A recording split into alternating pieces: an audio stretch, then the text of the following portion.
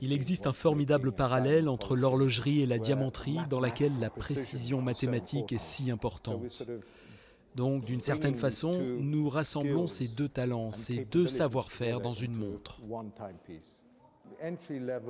L'entrée de gamme est à près de 15 000 euros, puis nous montons à 1,5 million, voire plus si le client veut du sur-mesure.